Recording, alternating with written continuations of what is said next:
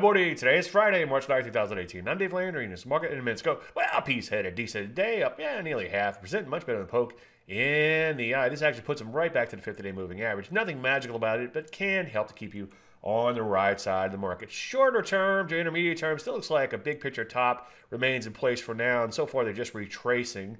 But longer term, they still look okay. As you can see, longer term uptrend so far remains intact. See recent columns and the latest Dave Landry's weekly charts for more on that. Hey, take a look at the NASDAQ, just a stone's throw away from all-time high. So that's certainly a good thing. So far, though, still have a retrace look to them. As been saying ad nauseum, the problem with these V-shaped recoveries at high levels is that they're very hard to sustain. Very hard to launch a new leg on top of an overbought leg. Russell, not so great yesterday, stalling out a little bit in that retrace, but not too far away from all time highs. If these indices could get there and stay there for a while, then obviously we may have dodged a bullet. For now, keep an eye out for a short or two and be super selective on the long side. Any questions? As usual, david at I'm Dave Landry, your user, Mark Minute.